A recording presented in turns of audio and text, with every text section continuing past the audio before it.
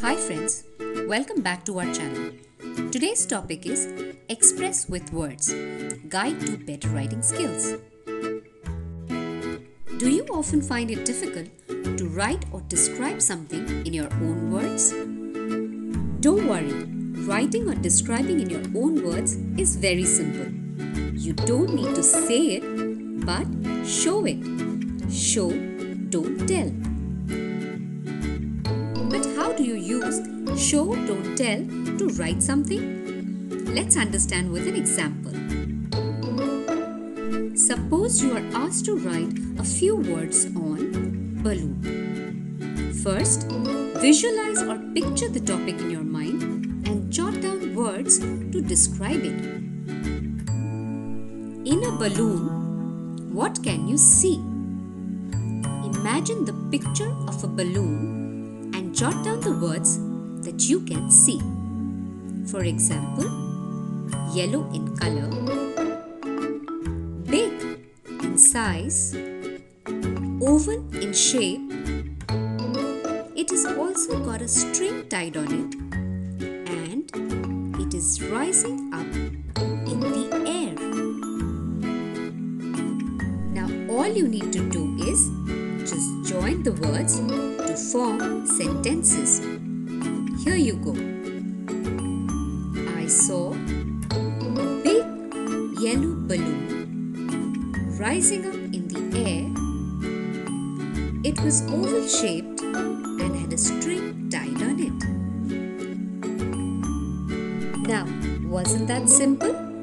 Let's try this one now. Express in your own words. Was happy to see his grandpa. So, first, you need to write down the things that you see when someone is happy. For example, eyes light up, broad smile, jump in joy,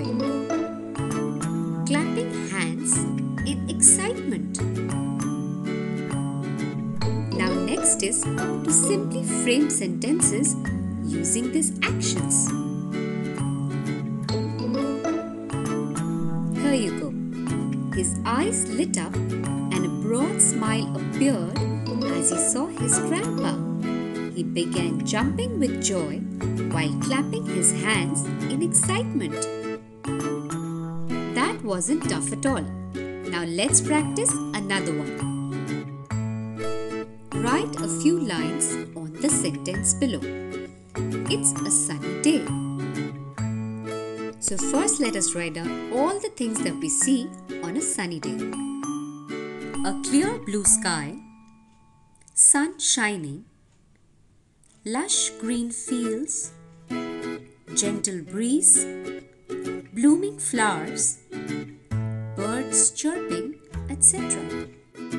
Now let's write down sentences using these phrases. The sun is shining on a clear blue sky.